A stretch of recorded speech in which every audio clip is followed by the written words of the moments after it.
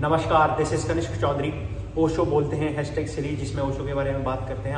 आज से दो या तीन महीने पहले मैंने एक वीडियो बनाई थी, जिसमें बताया था कि ओशो के ओशो ने एक टेक्निक बताई है ऐसी, जिससे आप अपने सपनों को, अपनी अचीवमेंट्स को, अपने करियर को कैसे आगे बढ़ा सकते हैं। उन उन सपनों को, उन अचीवमेंट को पाने के लिए जो एनर्जी चाहिए, वो कैसे आपकी अंदरूनी शक्ति, आपकी आत्मा से निकल के आएगी ओशो बहुत अच्छी तरीके से समझाते हैं दिमाग और मन के। हिसाब से कि दिमाग ज़्यादा बड़ा है या मन ज़्यादा बड़ा है। ओशो ने हमेशा मन को ज़्यादा बड़ा रखा है, दिमाग को पीछे ही रखा है। तो उनकी ये मन की जो स्थिति है, उसको समझने के लिए मैंने एक टेक्निक आपको बताई थी कि बहुत पहले वीडियो बनाई थी। उसको मैं डिस्क्रिप्शन में भी डाल दूँगा। वहाँ बताया था मैंने कि आपको किस तरीके से ओशो की ओशो की जो टेक्निक है, उसमें था कि आपको रात को सोते हुए लंबी गहरी सांस, जब आप सब अपना फ़ोन वगैरह रख चुके एक साइड जब आप सोने को बिल्कुल रेडी हो और आँखें बंद कर लिए, नींद आने लगी है तो उस वक्त आपको अपने ड्रीम्स आपके सपने, आपके जो अचीवमेंट हैं, वो जो पाने हैं, वो आपको याद करना है। उन्हें याद करते हुए लंबी गहरी सांस के साथ अपनी आत्मा में बसाना है और जब धीरे धीरे सांस छोड़ोगे तो उसी सब चीज़ के साथ उसे सोचते सोचते आपको सो जाना है। सुबह जो सबसे पहले उठ रहे हो, उसमें भी आपको वही चीज़ याद करनी है कि मेरे ज़िंदगी का जो मेरा मकसद है वो क्या है, उसको याद रखना है।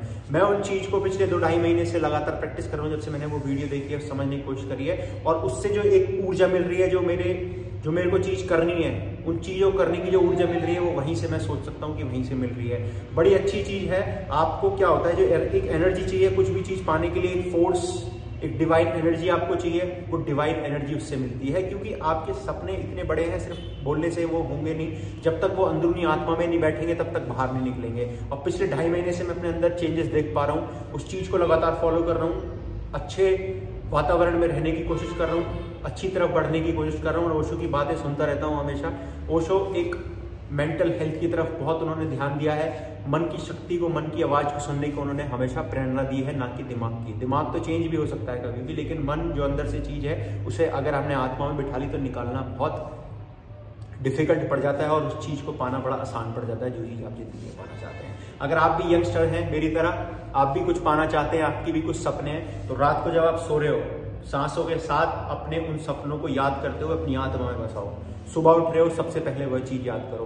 देखिए फिर कितनी पॉजिटिव ऊर्जा आपको पूरे दिन वो चीज़ चलाएगी और जो आप करना चाहते हैं, उसकी तरफ़ कितने बढ़िया से आप चलेंगे। ये चीज़ फॉलो करके देखिएगा, सिर्फ़ सुनने में तो हवाई हवाई बात लगेंगी आपको ये, लेकिन अगर जब आप इनको करोगे, जब आप इनको समझने की कोशिश करोगे तो देखिए कितना मज़ा आपको अपनी ज़िंदगी में आएगा। ये ओशो बोलते हैं, ऐसी सीरीज़ जो ओशो बातें करते हैं, उनके बारे में मैं आपको बताता हूँ। उम्मीद करता हूँ इस वीडियो से भी आपको कुछ समझने को, सीखने को, सुनने को मिला होगा, जो आपको बातें अच्छी लगी होंगी। इसी तरह से पॉजिटिव एनर्जी के साथ रहिए पॉजिटिव सकारात्मक ऊर्जा के साथ बने रहिए, और अपने अचीवमेंट्स अपनी जो ज़िंदगी में आपको चीज़ें पानी है, उनकी ओर बढ़ते रहिए, बहुत अच्छी एनर्जी के साथ। धन्यवाद, फिर मिलते हैं अगली वीडियो में।